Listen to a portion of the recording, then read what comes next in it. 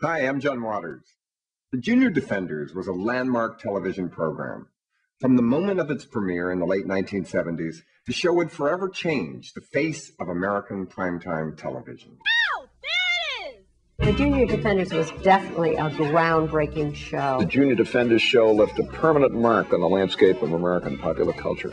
In 1978, The Junior Defenders was America's number one show. Happy 150th episode, Junior Defenders. It was a situation that wouldn't last long. Junior Defenders, unfortunately, will not be returning to the ABS lineup next fall. For Junior Defender fans, life would never quite be the same. You just can't prepare yourself for something like this, you know? For 20 years, all hope seemed lost. But now, one man is determined to make a difference. Has there been any leads? Not yet. That's a kidnapping.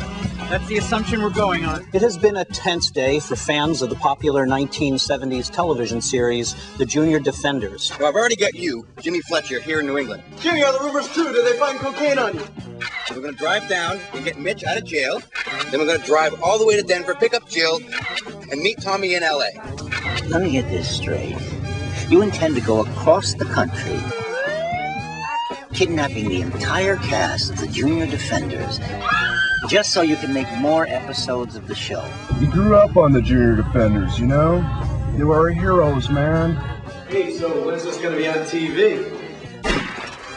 Open the door! Man, open the door! A second member of the Junior Defenders cast has suddenly vanished.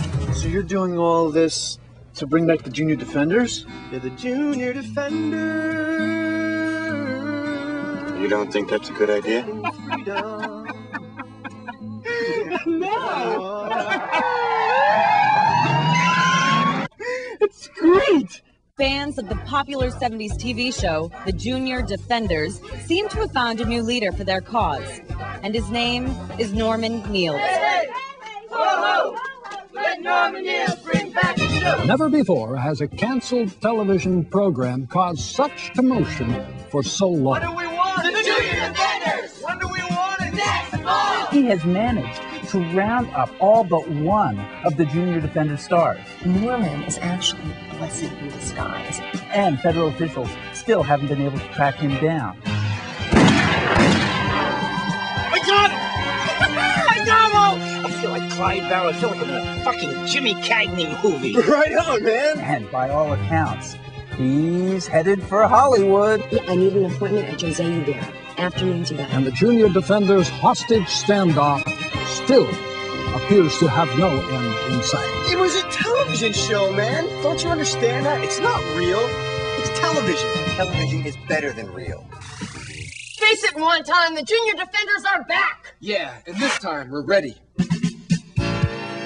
Ally Sheedy, Oscar nominee Justin Henry, Brian O'Halloran, Jason David Frank, and introducing Fred Hazelton. Be more triumphant because triumphant? Yeah, you've been on that planet for 12 years. Oh. And you're really angry at this guy. Now let's take it again, please. I think Norman Niels is a genius.